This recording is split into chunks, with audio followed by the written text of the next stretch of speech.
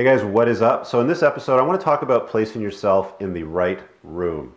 A really good friend of mine, Jayson Gaignard, runs this event called Mastermind Talks. I actually did a video interview with him in my car this summer. Uh, you can go back and check it out.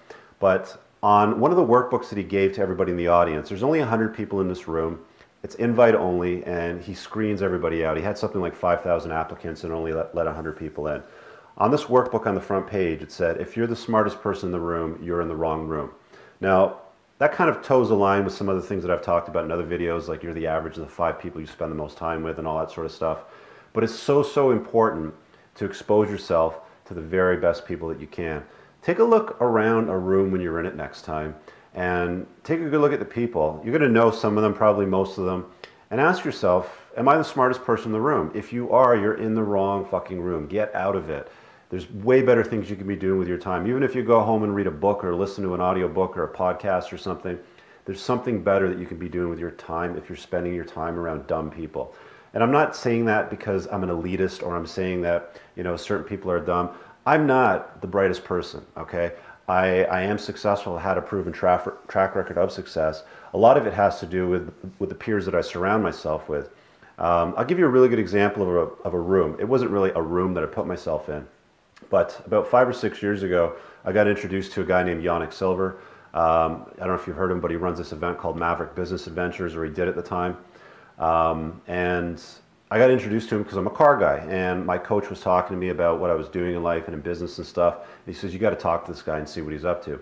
So he invites me down to uh, Mexico to attend one of his events. It was about a five-day off-road Baja 1000 kind of race in the desert and it was a high ticket price item. It was about fifteen or sixteen thousand dollars. It wasn't cheap, but when you throw good money at something and you get exposed to really good people, you're going to have a phenomenal experience, and I really did. Um, we were there for about five or six days, I think, and I got introduced to a guy named Joe Sugarman. Uh, if you don't know who he is, you can look him up, but he's one of the best copywriters that's practically ever lived. So driving through a desert off-road, we got to spend a lot of time with people like this. They were all high-level, high, highly successful entrepreneurs, um, you know, in their own category, in their own fields. We, de- we developed really, really tight and phenomenal bonds. And to this day, um, some of my closest friends are actually uh, in that, you know, peer group of people simply because we we had five or six days of very close, tight time, no access to cell towers and data and things like that it was just strictly driving off road during the day, communicating on these headsets, and then at nighttime, just bonding together as you know people, as entrepreneurs.